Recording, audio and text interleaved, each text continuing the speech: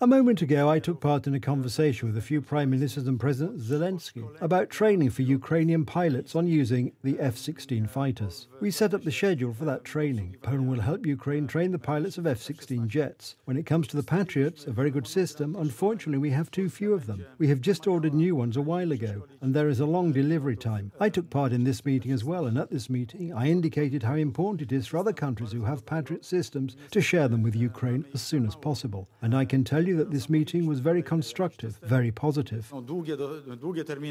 Speaking to reporters, Morawiecki also commented on a resolution questioning Hungary's ability to hold the European Union presidency next year. It is a clear violation of European rules in their most important form, that is, treaty rules, the treaties that rule on the shape of the European Union. Destroying the entire way of managing the EU in this way is not only a road to nowhere, but it is a road to the abyss. I think, I earlier mentioned it in Heidelberg, that if there will be an attempt to violate a European Union member, if there will be an attempt to force European Union countries to qualified majority voting in the decision process, to so called federalisation, which in fact means centralisation of the decision process, the bureaucratic process, then it will be a path in a very wrong direction.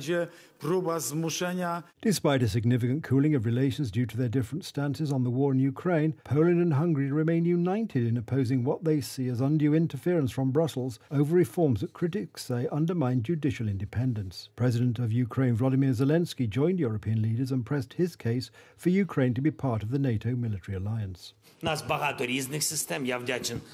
We're thankful to our partners for all different air defense systems, but patriots are patriots. Regarding the aircraft coalition, to us it's important that the United States play the leading role as the F 16 are their aeroplanes. Our colleagues and allies are ready to help us, but these planes are those of the United States. However, today I heard powerful support support from many countries, I heard about a significant number of aircraft fighters. With the help of the United States, we will create this coalition very soon. We will figure it out. People will answer for the fact that there were those who couldn't get into the bomb shelter and unfortunately died. As if it wasn't enough to have Russia as an enemy, we also have internal ones. There's a word I want to say, but there are many journalists here. It's on the tip of my tongue.